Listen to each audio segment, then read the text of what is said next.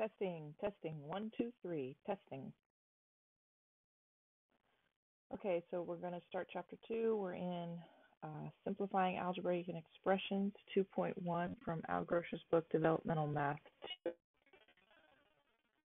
So, simplifying algebraic expressions. If you remember from some of our previous lectures, an algebraic expression is a combination of numbers and or variables, letters, with the operations of addition, subtraction, multiplication, and division.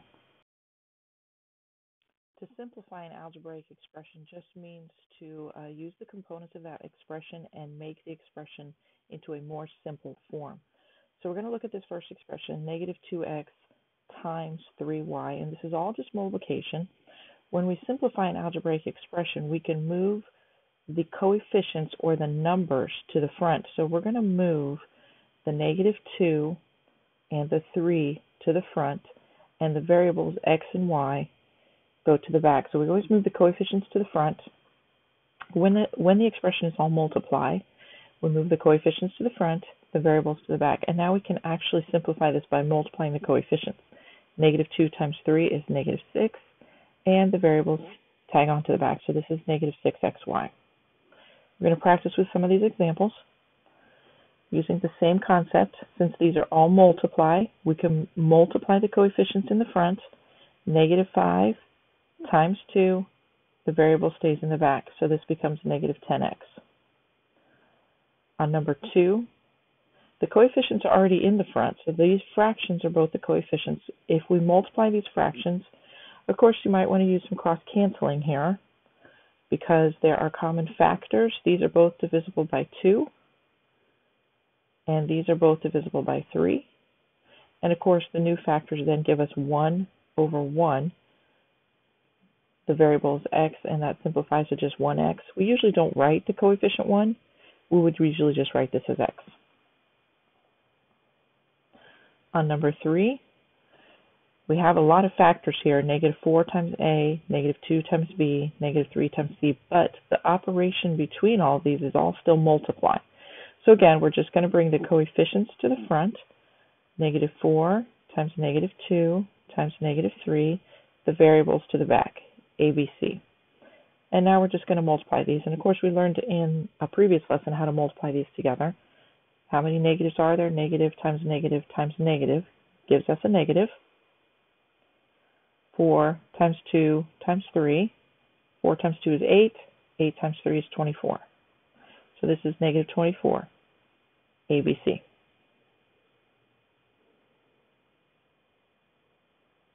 On this question, this is similar to number 3. There's just a lot of uh, numbers and variables all being multiplied together, so we'll bring the numbers to the front, the coefficients. Negative 2 times 2 times negative 1 from here, here, and here, and then the variables, uh, H, E, L, P which spells help. We're going to multiply the coefficients together. Negative times positive times negative. Two negatives are going to multiply together to give us a positive product. And 2 times 2 times 1 gives us 4. H-E-L-P. For help.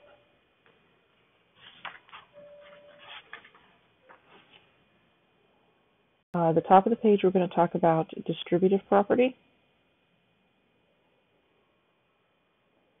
Distributive property is a way for us to use multiplication to um, get rid of parentheses. We're going to uh, illustrate here why it works. Uh, when we use order of operations, we would simplify inside these parentheses first.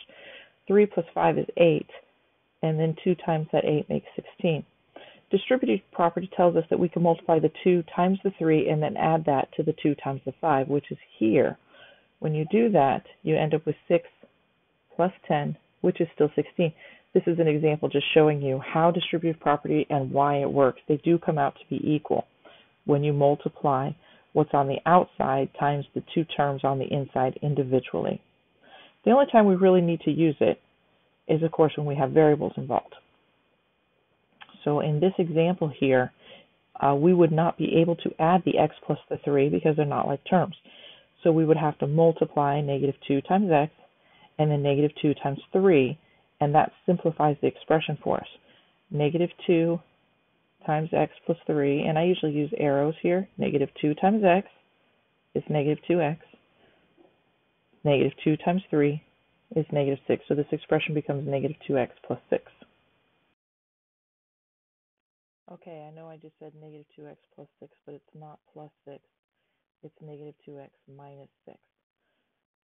So we're going to go down here, and we're going to use distributive property on these examples down here.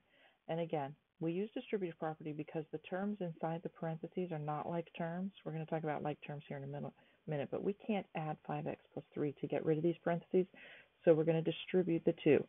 We're going to do 2 times 5x plus 2 times 3.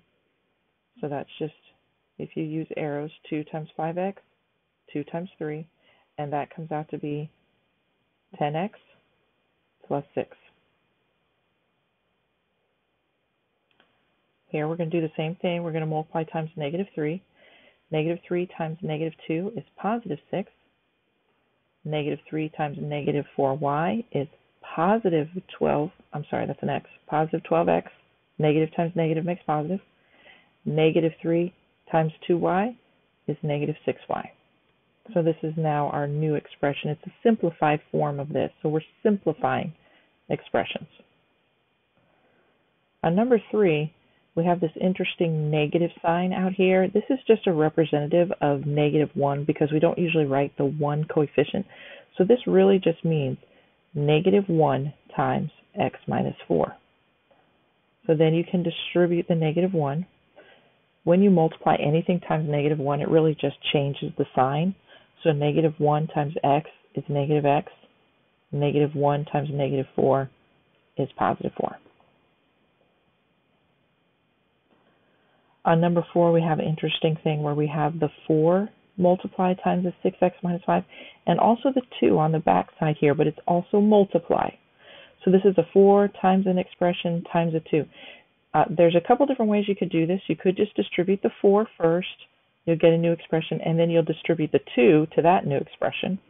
I think it's a little bit easier. If you remember, multiplication is commutative, which means you can move things around without changing the value. 3 times 2 is the same as 2 times 3. You can change the order of multiplication around. And if you do that with this type of expression, you can move this 2 over here to the front and rewrite this as 2 times 4 times 6x minus 5, which you can then simplify starting from the front. 2 times 4 is 8. 8 times 6x minus 5 is distribute. So we're going to distribute 8 times 6x is 48x. 8 times negative 5 is negative 40. It's the same answer you would have gotten if you multi if you distributed the 4 and the 2 individually. Same answer, but I think this is a little bit faster. It's a little bit easier to do mentally. So we end up with 48x minus 40. On the third page here, we're going to start, start talking about like terms because this has to do with simplifying. Like terms are terms with the same variable raised to the same power. And here we have some examples of like terms versus unlike terms.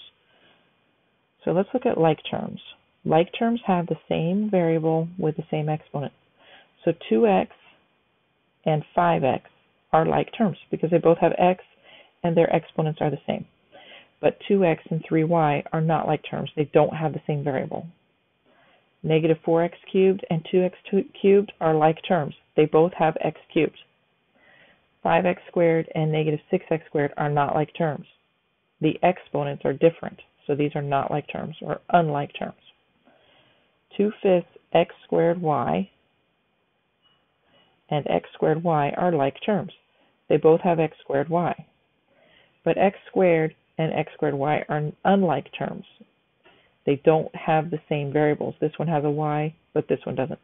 So we're going to um, we're going to talk about adding and subtracting like terms because it turns out in algebra you can multiply anything, which is what we just practiced, but you can only add and subtract like terms. So when we go down here to example 1, we're going to look for the like terms first. Which terms have the same exact variable? Negative 3x and 5x have the same variable. The 4x squared is different. So these two terms, the like terms, negative 3x and 5x, are going to get added together. And we do that by just adding the coefficients. So when we add negative 3 and 5, we get 2. The variable stays on. So that becomes 2x. Uh, the 4x squared does not have anything to add to, so it's just hanging on here. And this is simplified now because we've combined all the like terms. On number 2, we're going to first identify the like terms. 5x and 8x are like terms because they both have x. Negative 6 and negative 1 are also like terms. They don't have any variables. When we add 5x plus 8x, we add the coefficient, and that makes 13x. When we add the negative 6 and the negative 1, we get negative 7. So that's simplified now. On number 3, we're going to identify if these are like terms, and you have to look carefully because there's more than one variable. This is negative 3x squared y. This is 5xy squared, and they sound very similar, but the exponents are different, so these are not like terms. So we really can't add them because they have to have the same variables with the same exponents. So these are not like terms, so I'm going to make a note here, not like terms, um, already simplified. because there's nothing else we can do there. On number four, again, we're identifying where the like terms, so which terms have the same variables with the same exponent. It looks like the negative 2x squared and the negative 4x squared are like terms, and when I add them together, I get negative 6 x squared, negative 2 plus negative 4 is negative 6. The other two terms are actually not like terms because this one has an x, the 5x has an x term, but the 3 doesn't. So we can't even add those, so they're just hanging on. So we have 5x plus 5x plus 3.